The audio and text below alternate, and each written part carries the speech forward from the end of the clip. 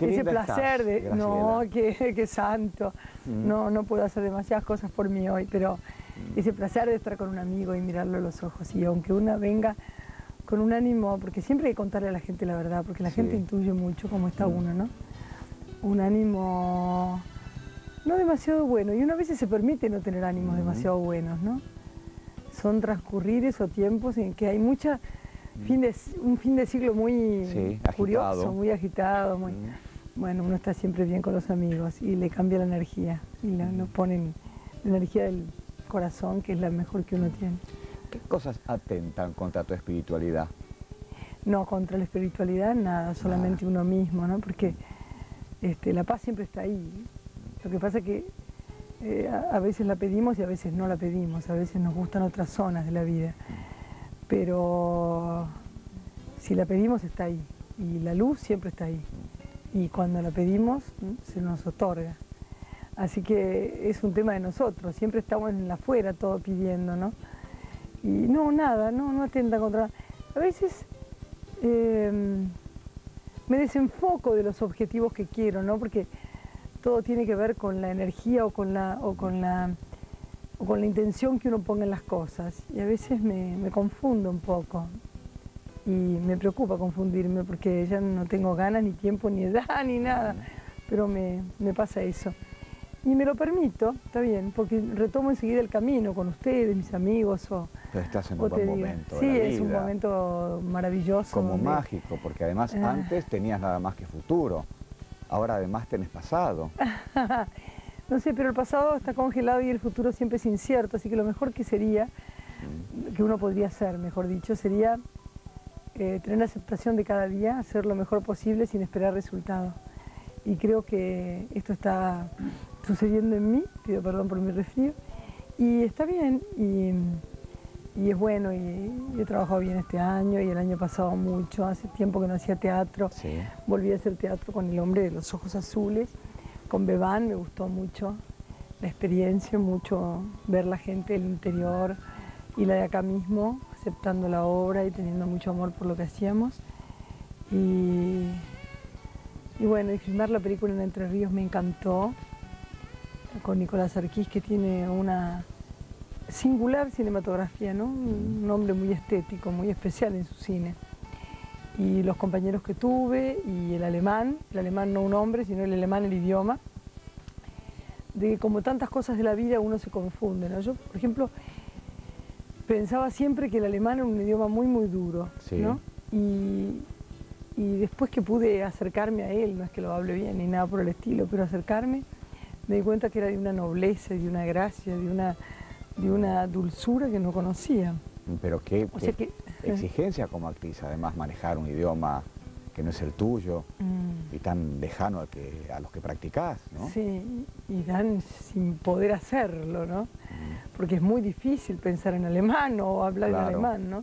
¿Es alcohólica además la baronesa? Eh, no creo que sea su sello más importante, creo que en algún momento de su vida, ella que llega a este lugar tan lejos, donde, no donde nació mm, o donde creció, porque ella en algún momento estuvo en Argentina, su padre era embajador este, en este país, su madre es una alemana, está casada con un varón alemán.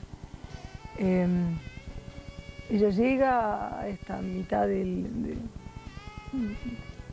este campo argentino desconocido para ella y se queda ahí en la noche sin luz, sin nada, solamente con su marido, sus baúles puestos en la puerta de este campo donde se van los autos que la trajeron y a la luz de la luna cantan un lied que es lo, más, lo que más representa a los alemanes y fue muy entrañable hacerlo, me gustó mucho ¿no? y me, pareció que el lugar era una gloria, eh, lindísimo, con, ese mar, como, con ese río que es como un mar, por eso digo como un mar. Río curioso, ¿no? Porque seguramente llegaría hasta Rosario, no sé hasta dónde, el mar que estábamos viendo en Victoria. Y, eh, para nosotros era mar, no era río. Era una cosa de ensueño, ¿no? Nos encantó, nos parecía mar, decíamos siempre este mar, este mar. Porque además tenía un movimiento como de mar ese campo quebrado, esas palmeras bajas, gordas, este, este lugar donde la gente mira sin juicios pesados, donde la gente sonríe, donde es este, fue tan fácil vivir, mm. donde yo salía de un departamento que me habían alquilado para estar y gritaba a los chicos de abajo de un lugar que se llamaba La Luna. Me enamoré de Entre Ríos. Te dieron ganas como de vivir, ¿no? Me, dieron, eh, me dio placer vivir y cuando me iba yendo pensé que iba a ignorar muchísimas cosas de Entre Ríos. De hecho lo estoy haciendo y me gusta decirlo porque sé que alguien les va a contar por este programa que yo lo dije, ¿no? Y está bueno, sí. Mm. Cuando tenés esta película para estrenar, ¿cómo son? Y después hice otra más. Sí, sabes nadar. hice una donde encima me sacaron plata y no, no, me, pagaron. bueno, pero, cuando el hijo de uno se mete en eso... ¿Quién te embarcó Sabes Nadar? No, Sabes Nadar es una película del chico Kaplan que la hizo con poquísimo dinero. se me ha prohibido decirlo, yo pensé que se podía decir sin plata del instituto.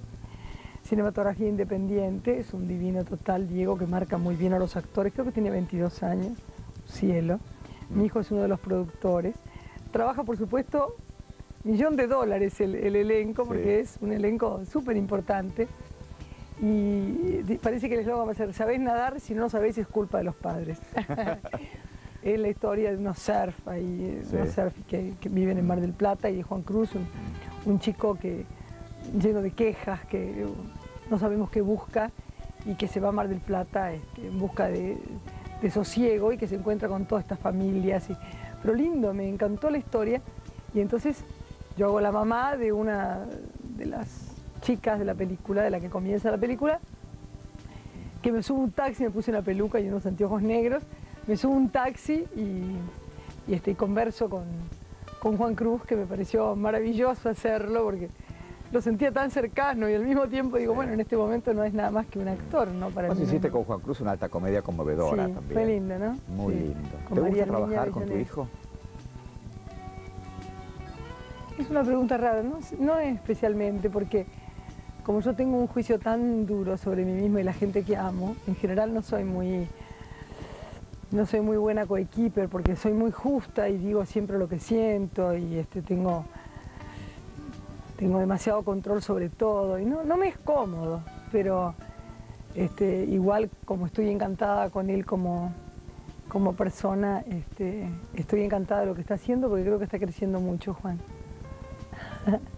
Ya que hablamos tanto de cine, ¿qué te parece si recordamos tres películas que están en cartelera en este momento y se las recomendamos a la gente? La de Woody Allen seguro. La de Woody Allen, ¿por qué no? Que tenemos